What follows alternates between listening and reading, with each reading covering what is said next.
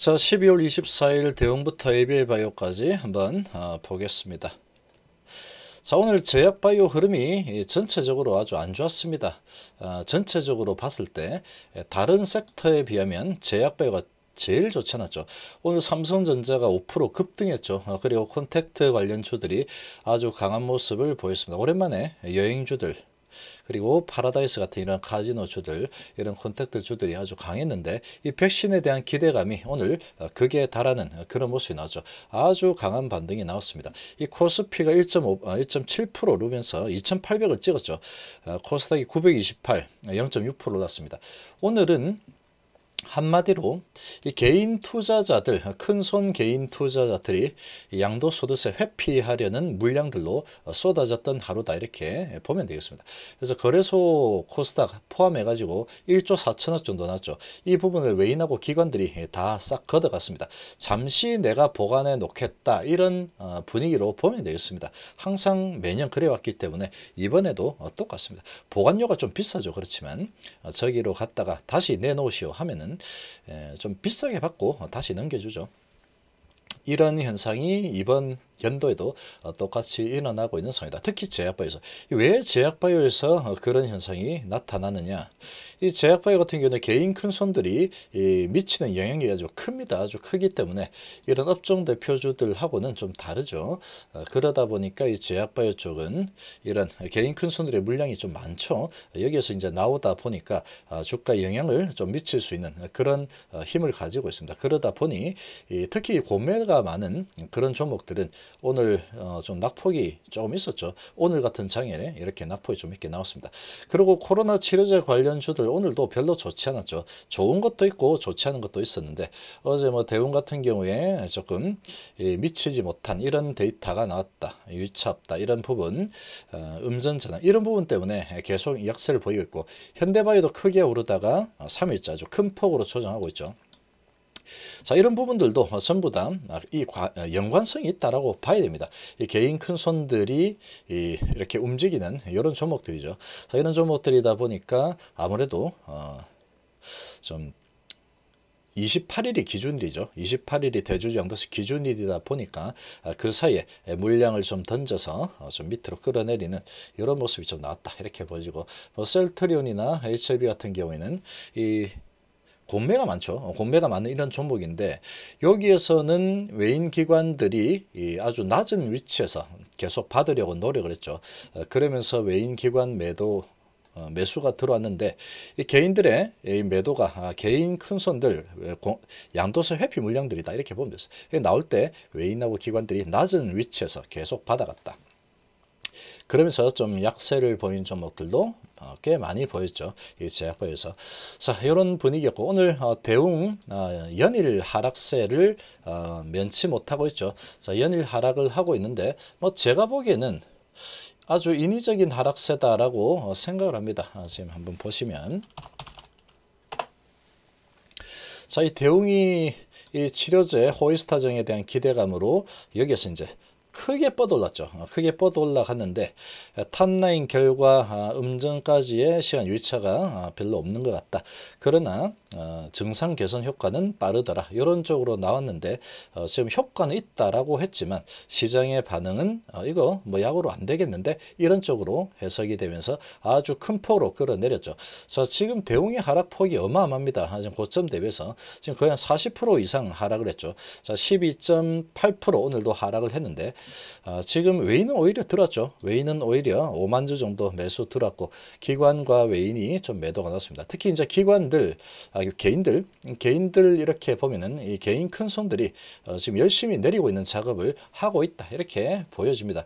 이 정도로 좀 보여지고 어, 지금의 이 하락폭은 아주 큽니다. 이거는 언더시팅이 너무나 심하게 되어 있는 상태다 이렇게 보면 되고 그러고 이제 지금의 위치를 보면은 이 코로나 치료제로 인해서 올라간 부분 다 까먹었습니다. 다 반납했죠. 그런데 지금 진행하고 있는 거는 2003도 어, 있고 2525도 있고 호이스타도 있죠. 세 개 중에 전부 다 진행하고 있고 호이스타 같은 경우에도 대규모 임상 상상 빠르게 진행하겠다. 그리고 어, 지금 대웅제약 사장이 어, 치료제로 개발을 확신하고 있다, 자신하고 있다 이런 소식이 오늘 또 나왔습니다. 자 이런 상황인데도 계속 밀어붙이죠. 이제 월요일 날또 어, 개인 물량들은 또 나올 수밖에 없겠지만 지금 이 하락폭은 너무나 과한 하락입니다. 어, 그런 거 다 해가지고 이 회사가 예를 들어서 지금 어, 개발하고 있는 치료제 이 2003, 2525 그리고 호이스타 전부 다 실패다. 이렇게 하더라도 지금의 주가는 너무 하락 하락이 심하게 나왔 나와 있는 상태다 이렇게 바라봐야 됩니다. 왜 그러냐면 지금 이렇게 이 정도로 올라간 부분 여기서 여기서 요만큼 올라간 부분이죠. 요만큼 올라간 부분이라고 하면 여기까지 봤으니까 이만큼 올라간데 여기서 요만큼 올라간 부분은 지금 이제 보톨리눔 톡신 가지고 계속 재판을 하던 부분 그거 해소된 것만 하더라도 여기까지 그냥 올라와야 됩니다. 그게 계속해서 발목을 잡았었죠. 어, 그런데 그런 부분 좀 올라온 부분이다라고 하도 해도 될 만한 수준까지 지금 내려와 버렸죠. 이 정도 위치라면은 이거는 이제 자신감을 가지지 못할 이유가 전혀 없습니다. 그리고 제가 보기에는 이 대웅 호이스타 정 상당히 가능성이 높습니다. 제 생각인데 아주 가능성이 높다라고 보이고 코로나 치료제라기보다는 코로나 약으로 해서 어 지금 이 승인이 될 가능성이 아주 높다고 봅니다. 저는 증상 개선 효과 빠르고 바이러스 제거 효과 빠르죠. 그게 이제 천명을 대상으로 이제 삼상을 진행하는데 먹는 약으로는 가장 빠릅니다. 임상 삼상 대규모 삼상을 하고 있는 그런 먹는 코로나 치료제를 만드는 회사는 대웅밖에 없죠. 어, 근데 이제 가능성이 보였다라고 어, 지금 다들 언론에서 말하고 있는데 어, 지금 그 해석을 좀 이상하게 해가지고 지금 이렇게 실패했다 이렇게 밀어내리고 있는데 그건 뭐 해석이 나릅니다. 이 개인 이 세력들이 메이저 세력들이 이 실패하고 밀어붙이니까 아 실패인가 보다 하는 거죠. 근데 제가 보기에는 그렇지 않습니다. 그래서 어, 결국은 다시 어느 시점이 되면은 어, 스물스물 바닥을 잡아주고 반등이 어, 또 강하게 나타날 거다라고 생각이 됩니다. 대웅제약도 마찬가지로 지금 위치 보면은 기가 막힌 위치까지 내려와죠. 지금 이제 이 보톨림 톡신 족쇄가 풀린 거 가지고 올라간 거 어, 그렇게 따지면 지금 뭐 올라간 게 한 20% 정도 오르는 거다 이렇게 볼 수 있죠. 이제 20% 정도. 그러니까 이 대웅 지역은 코로나 치료제 지금 개발을 세개 하고 있지만 코로나 치료제 개발로 올라간 주가는 지금 하나도 없다 이렇게 보면 됩니다. 어, 하나도 못 올랐죠. 이 정도 수준이면 웬만한 종목들 보면은 여기에서 6월달 수준까지 이렇게 올라간 요 정도는 거의 대부분 어, 와 있습니다. 요 정도는 이거는 뭐 계속해서 날이면 날마다 떨어졌죠. 그게 이제 이 보톨림 톡신 이 부분 때문에 떨어진 부분인데 그러고 이제 치료제 이슈로 해서 크게 올라갔지만 이 데이터가 뭐 유치 없다 이런 부분 가지고 이렇게 끌어내렸는데 상당히 인위적으로 끌어내렸다. 열심히 많이 끌어내렸다. 이렇게 좀 보고 아주 뭐 어, 크게 내렸죠. 그러고 이렇게 내리는 동안에 아, 지금 하나, 둘, 셋 그리고 월요일까지 하게 되면은 이 신용 미수 쓴 이런 물량들은 거의 나올 만큼 다 나왔을 겁니다. 이렇게까지 크게 밀었기 때문에 신용 미수는 거의 다 나왔을 거다라고 보이고 지금 하락은 너무 과합니다. 너무 과하기 때문에 얘는 그러나 재료가 워낙에 좋습니다. 지금 아주 좋은 재료가 계속 살아있기 때문에 얘는 계속 치고 올라가는 흐름이 분명히 나올 거다라고 어, 생각합니다. 월요일까지는 조금 뭐 주춤거릴 수 있겠죠. 왜냐하면 월요일까지는 개인 큰 손들이 힘을 못 쓰는 그런 상황이죠. 그런 상황이니까 어, 좀 이제 조금 힘을 못 쓰기 때문에 일단 팔아놔야 되는 그런 상황이다 보니까 월요일까지는 조금 주춤거리는 낮은 수준까지 유지를 하려고 노력을 할 수 있다 이렇게 볼 수 있겠습니다. 그러나 이제 화요일부터는 달라지겠죠. 어, 달라질 거라고 생각합니다.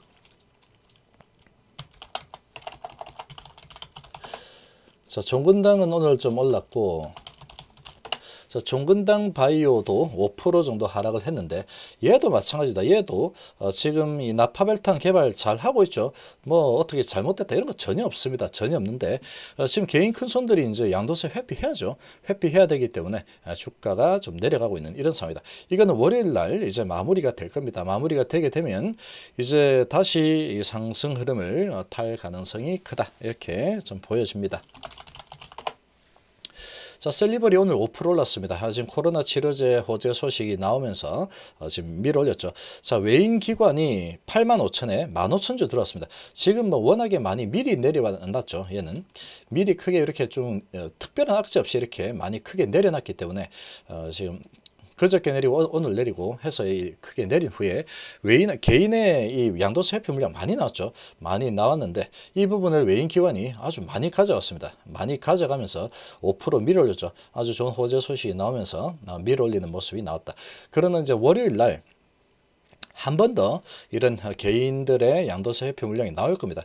어, 나오겠지만 지금 흐름은 좋습니다. 이제 바닥을 잡아주는 양봉이 나왔죠. 어, 지금 이제 월요일 날 양도세표 물량이 좀 나오면 조금 주춤하는 어, 그런 순고로 인붕이 나올 수 있겠죠. 어, 나올 수 있겠지만 예상을 깨고 올라가도 어, 할말 없습니다.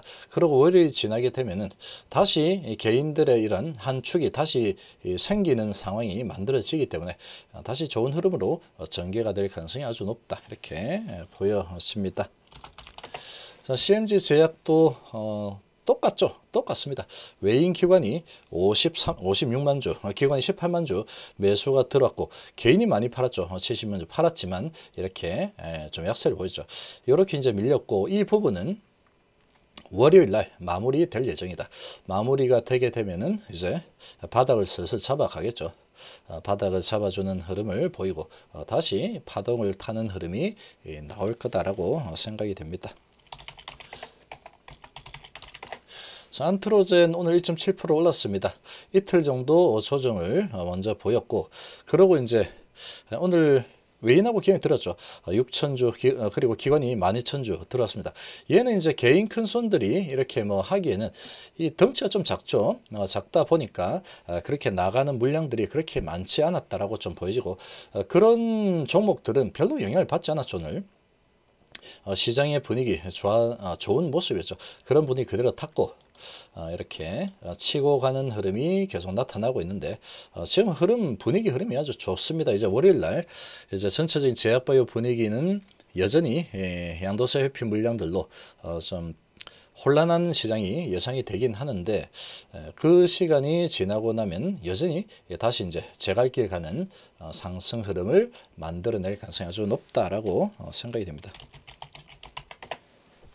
자, AB 바이오도 올랐죠. 어, 지금 2.3%, 2.9% 올랐는데 어, 지금 외인 기관이 들어왔습니다. 5만 4천에 7만 8천 들었죠. 어, 양도세표 물량도 많이 나왔고 어, 그러나 그런 물량 받아가지고 위로 위로 올렸죠. 월요일 날 한 번 더 이런 물량이 나올 겁니다. 아, 양도세표 물량들 나올 거고 그러나 결국 지금 흐름을 보면은 계속 상승 추세로 타고 가고 있기 때문에 이제 월요일 날 족쇄가 풀리면 제약바이오 쪽이 전반적으로 좀 강세를 보일 가능성이 높습니다. 그렇게 진행이 된다 그러면 이 120선은 어, 뚫어낼 가능성이 아주 큰 어, 그런 모양새다라고 볼 수 있겠습니다. 자 이번 시간 정도로 마무리하겠습니다. 감사합니다.